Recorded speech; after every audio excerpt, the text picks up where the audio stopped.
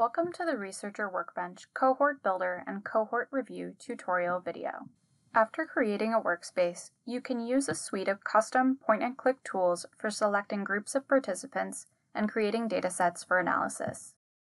Or, if you prefer, you can go directly into a Jupyter Notebook to access and analyze all of us data using either R or Python. Let's say that we want to analyze the use of the medication sertraline to treat major depression in women. In this example, I will select a group of participants using the cohort builder. To identify participants who may have major depression, I need to add inclusion criteria from the drop-down box. I want participants in our cohort to have been prescribed the antidepressant sertraline within 30 days of a major depressive disorder diagnosis.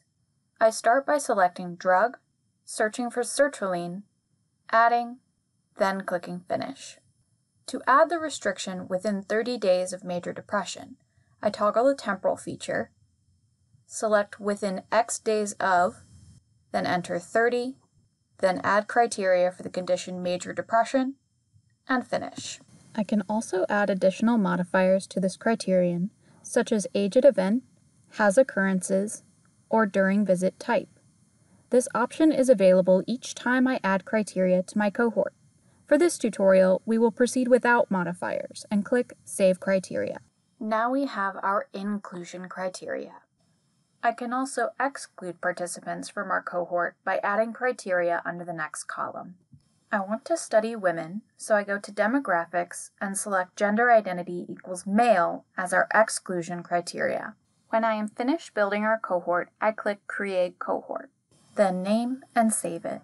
Once I have created a cohort using Cohort Builder, I can create another cohort, create a review set, or create a dataset.